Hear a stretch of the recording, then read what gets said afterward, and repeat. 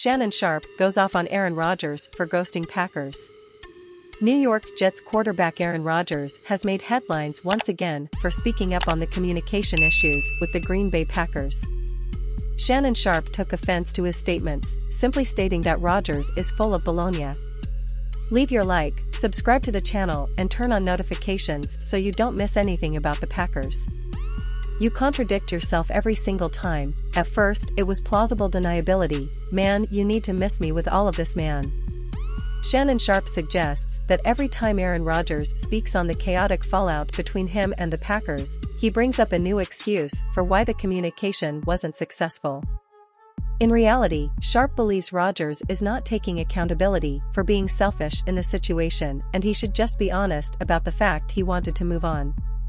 The irony is palpable that the feud between Rodgers and the Packers carries on well after he has already been traded to the Jets.